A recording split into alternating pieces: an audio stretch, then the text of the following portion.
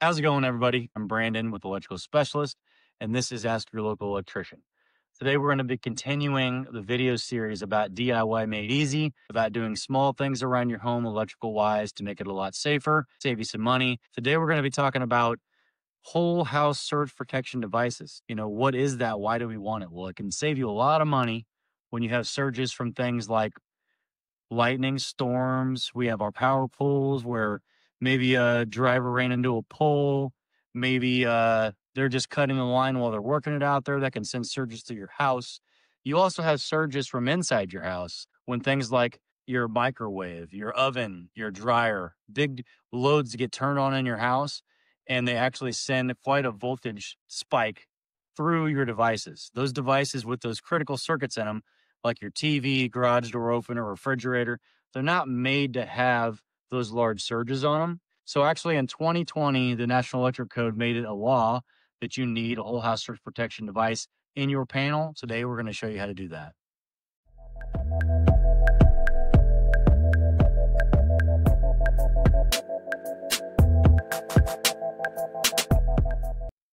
So the first thing we need to do is make sure that you have a good grounding system. The surge protection device actually works by shedding all the loads onto the ground. So without a good grounding system, your surge protection device won't actually do anything.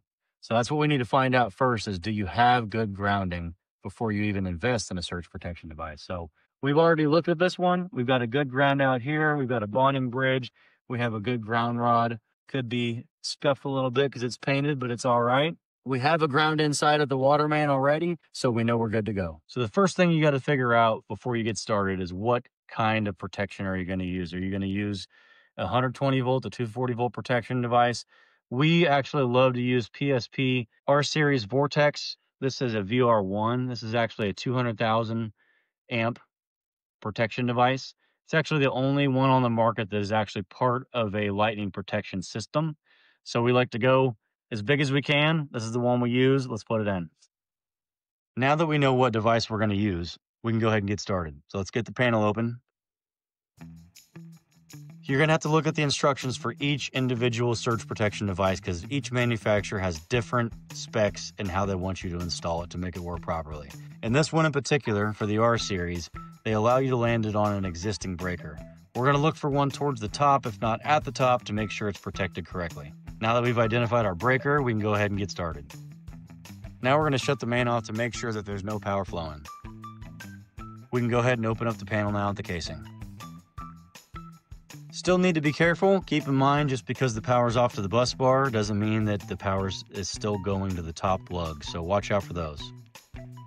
Next, we want to identify where we want to put it. In this manufacturer's instructions, it guides us to let us know that the wire needs to be as short as possible without any bends, so we're going to identify the spot we want. Once we've identified the location, we're going to go ahead and knock out the knockout.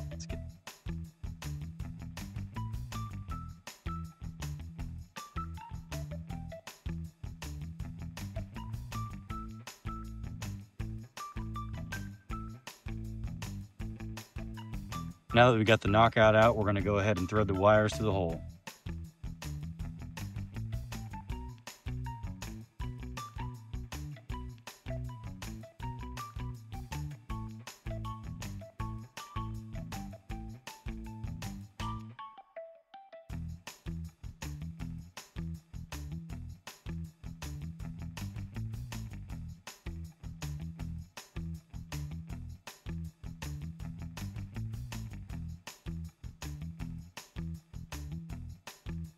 Now that we're ready to cut the wires and land them, we're gonna hold them up and dry fit them to see how long we can have them without making any bends as the manufacturer suggests. Once we have our length, we're gonna go ahead and cut them and get ready to land them. This is our main panel, so our neutral and our ground are gonna go on the same bar. Make sure to know that though, because if you do have a sub panel, you're gonna wanna make sure they're separated on different bars. Dang, you picked hard ones, huh? Still only was open. Without double tapping.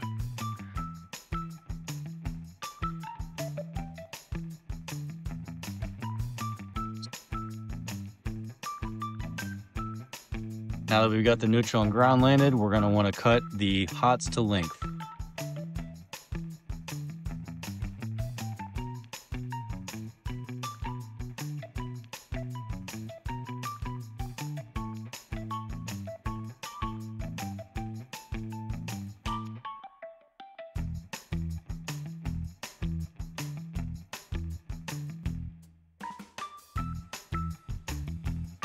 When you go to land these, they usually find it easier to go ahead and remove the breaker.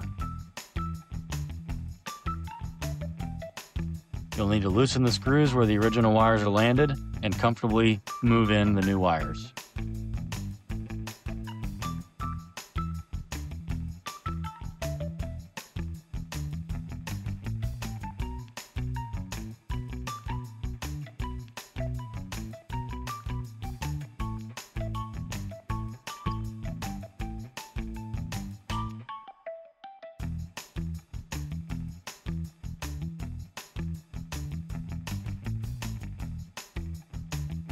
Once you've got the wires in tightly, you can go ahead and replace the breaker.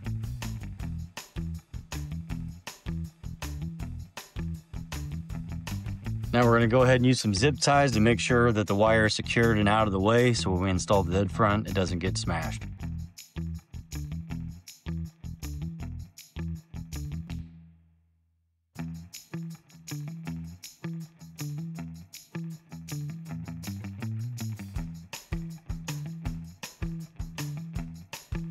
Now we're going to install the dead front.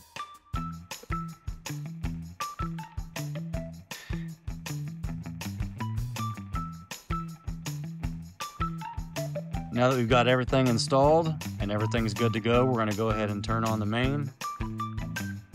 And we're good to go. Light is on.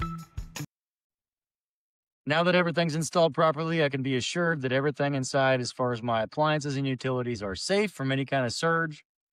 Thank you for watching. Stick with us to the next video. We're going to do some basic plugs and show you how to change them out correctly.